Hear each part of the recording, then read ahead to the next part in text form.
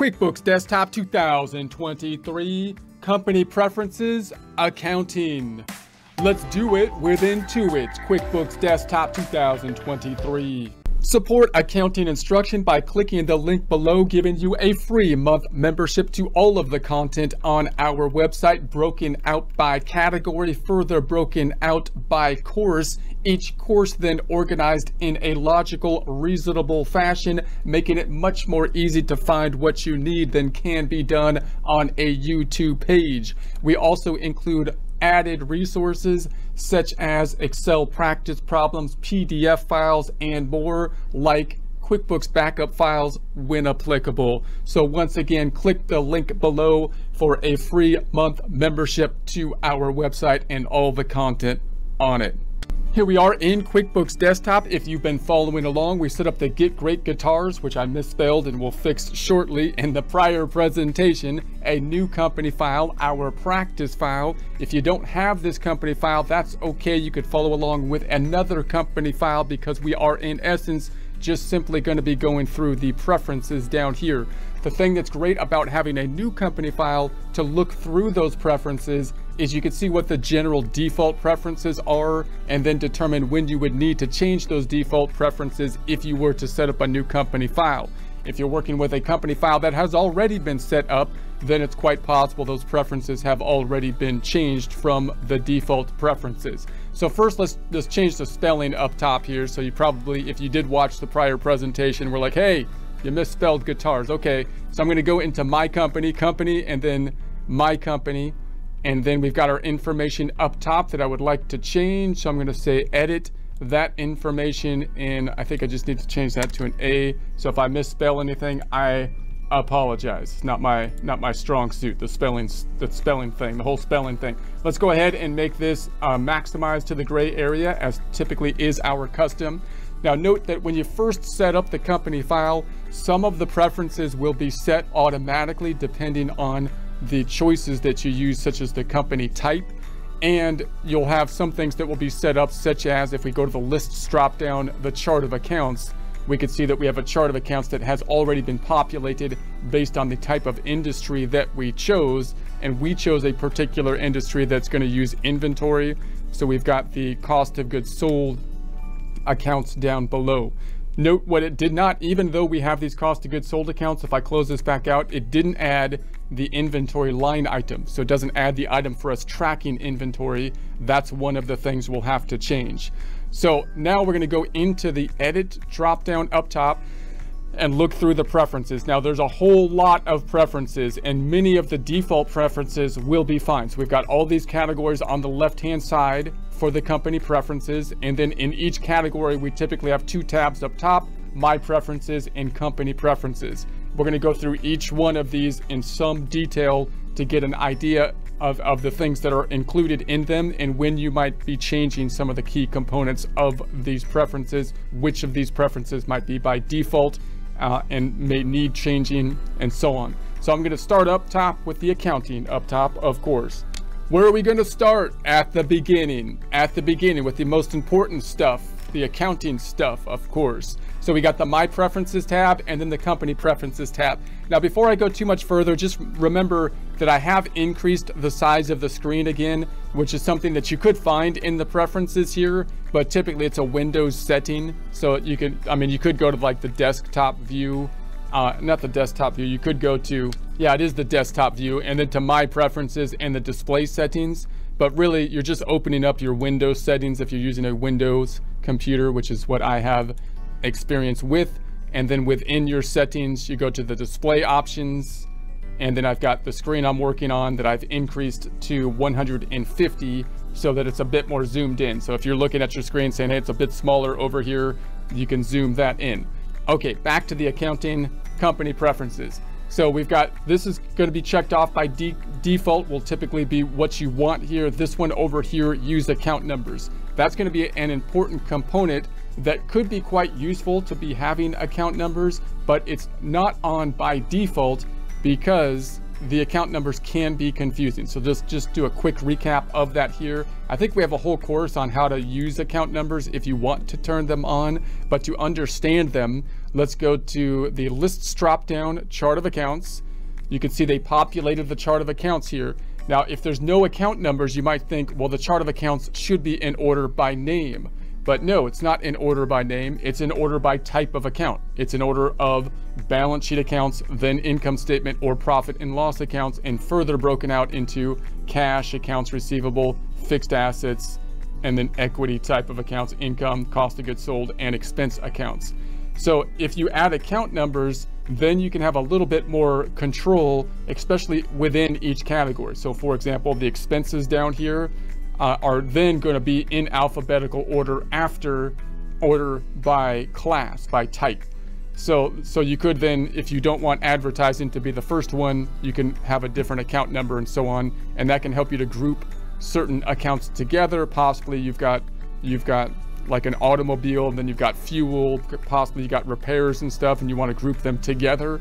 Account numbers can help with that, although you can also do that kind of thing with sub accounts that we'll talk about later as well. So they can be a useful tool. The problem with account numbers is that you have to add an account number and think about where the account number should be every time you put an account number in place. And if you miss uh, misallocate an account number, and you have it out of order, let's say you, you make the asset account uh, uh, 1,000 and you make the the expense account 500 or something, it's it's it's going to be out of order in terms of the numbering because it's first going to be in numbered by the type. So that's what you got to keep aware of first, and then you also have to make sure that you're leaving space between the account numbers so that if I wanted to add another account number between these two accounts, for example, I don't want to limit myself by having the account numbers that I chose right next to each other. This is number one, this is number two. Well, what am I gonna do? Make a 1.5 in the middle? So you gotta kind of think about those things when you're setting up the account numbers.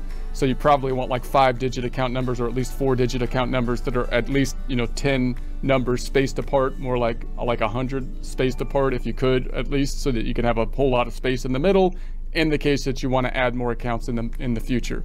Okay, so if you were to turn them on, let's just see what it looks like if I go into the edit preferences and say I'm going to turn my account numbers on and say okay now they've got the account numbers. Now notice that they added like kind of a default account system for numbers meaning they got five digit numbers. Notice they're well spaced even within the same category of fixed assets here. So there's a lot of room in between them. And then the liabilities start with a two instead of a one. Equity starts with a three still a five digit number. Sales starts with a four and then cost of goods sold five and automobile six. That's the general idea of it. And then even with the expenses, you can see there's a lot of space in between each of them so that whenever you add a new account, you shouldn't run into any problems in that the account numbers are going to restrict you. The account numbers should give you more control, not limit your control over the orderings of your accounts. Okay, let's turn that back off though. We're not going to use account numbers for our practice problem. We'll turn them off, which is the default. Then you've got the use class tracking for transactions. This is a specialty area that could be used for multiple different things. You might use it, for example, in a job cost type of system, and it will basically allow you to give you a, uh, the income statement or profit and loss in, in a class by class calculation. So to do that, you would have to assign a class to each transaction. You also could use it if you're using the same uh, QuickBooks file for personal and business uses, then you might try to assign all of your expenses to either personal or business, and you can generate a business, an income statement for both personal and business, and then the total uh, as well. So we won't go into that in detail because again, it's a specialty area. It might be used in, in not-for-profit organizations and stuff as well. So there's a lot of different applications for it. But just to get an idea of it, every transaction you enter so if I was to enter like an invoice, notice I have a pretty simple invoice entry. I don't have any class field here. If I turn on the classes and I go to the edit preferences company file and turn on the classes, prompt uh, to assign classes, that's going to be a, a, a, a thing that's going to say, hey, you didn't assign a class. So here now we have a class field that we have to enter and we have to assign a class every transaction so that the system can know which column to put it in place if I ran a profit and loss by class. Notice also that the classes are usually first thought of as something that can break out the income statement or profit and loss on a class by class basis. Uh, uh, and if you have a more advanced version of QuickBooks uh, desktop, then you can also do it with the balance sheet, breaking the balance sheet out by class. But that gets complicated to break out the balance sheet by class because you get into issues with the balance sheet balancing and so on and so forth. So typically you're thinking income statement broken out in a class by class situation. When might that be useful? Okay, I'm going to turn that back off. Edit drop down classes. We're not, we have courses on classes for different uses in and of themselves, like job costs, not for profit courses, courses where you do personal, use the QuickBooks for your personal and business if you have a small business. So you can take a look at those if you so choose. Automatically assign general journal entry numbers. So when we make a journal entry, Notice that when we enter data into the system, we're typically going to be using the forms. So the general idea of the accounting system will be we've got the underlying foundational stuff in place so that we can do the data input as easily as possible with data input forms, possibly making it easily easy enough so I can assign someone or hire someone that doesn't understand the setup process or the end result, financial statements, how forms impact them, can still do the data input. So the underlying stuff are things like the chart of accounts that we want to have set up, then the items that we'll have set up, which we'll talk about as we go in the future, so that we can create invoices and these kind of things as easily as possible. These kind of things will create the financials transactions, which include for a double entry accounting system, journal entries. Every every form is going to have an impact on at least two accounts, impacting the balance sheet and the income statement in such a way that it remains in balance, assets equal liabilities, plus uh, equity. That's going to be the general idea. Now, if you have an accounting background, you might try to think of things not as a, as a form, but you might think about things in just terms of journal entries. So you might say, why don't I just enter a journal entry for each time I enter a transaction? You don't want to do that because the forms do other things other than just enter the journal entry, such as tracking the invoice, tying the invoice to the received payment. So the general idea is that you want to first think, is there a form that is designed to use and use that typically. If not, then I default to a journal entry. So a journal entry would just be going to like a company dropdown. And if I say I want to make a journal entry, so now I've just got my debits and credits here debit, credit, and I can enter things directly as a debit and credit instead of using a form. And then you can have the journal entries being assigned a number and they're pre-assigned a number. And that's what that setting is doing. It's pre-assigning the number. So typically we'll keep that on by default.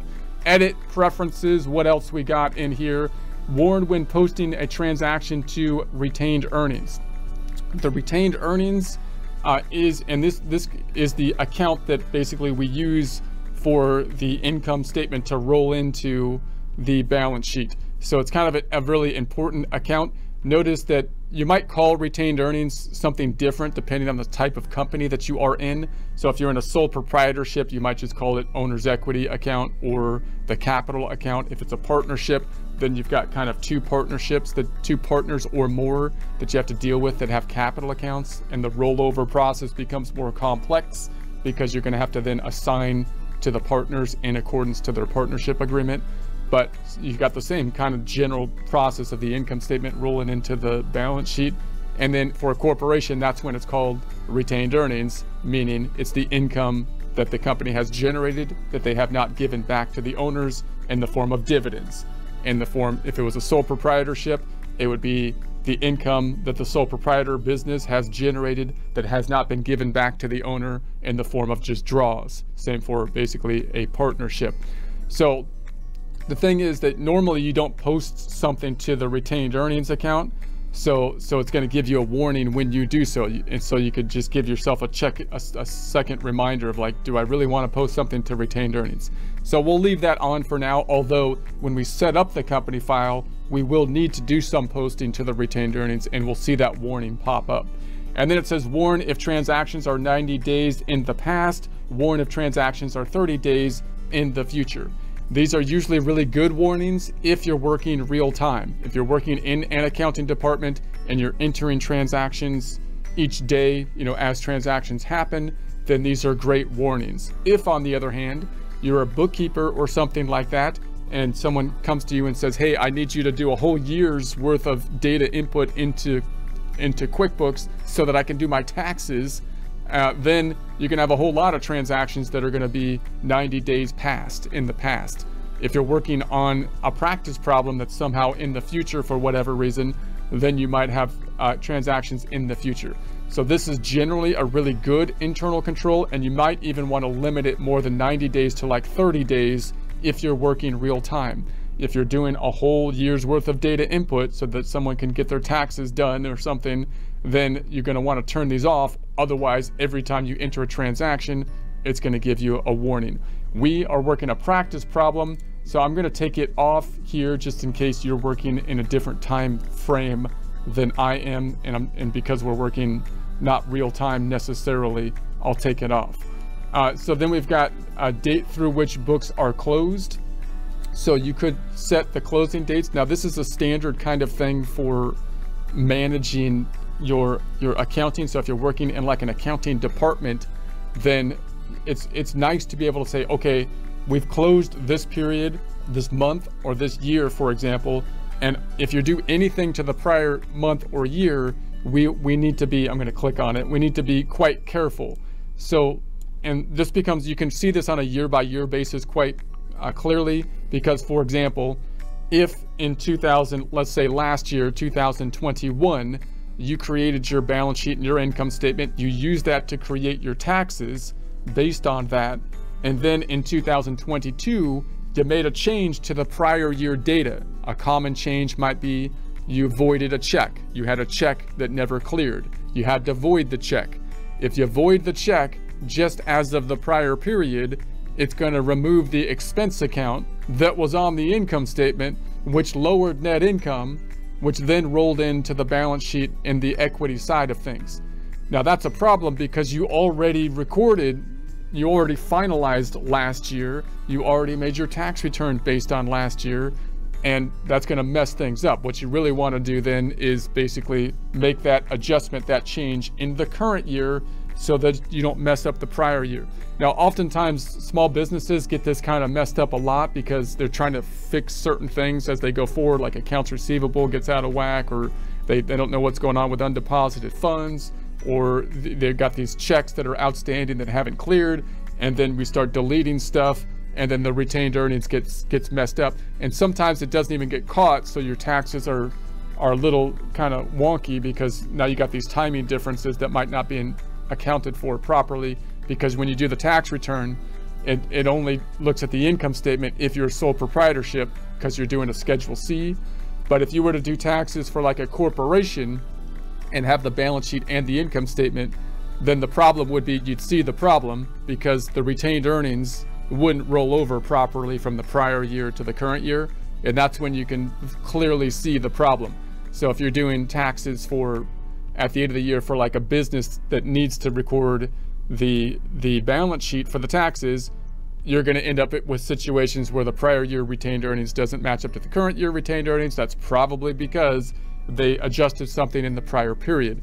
So larger companies get better and better at this, and they basically uh, do so by kind of restricting their accounting staff from posting stuff to the prior period because it messes stuff up, and they can get quite, quite uh, agitated, you know, and, and uh, controlling in this regard because it does cause kind of problems. So in any case, to keep your financial data secure, QuickBooks rec uh, recommends assigning all other users their own username and password in company uh, set up users. So if you got multiple people working in QuickBooks, you can have the different people set up their users and you can set up their settings differently.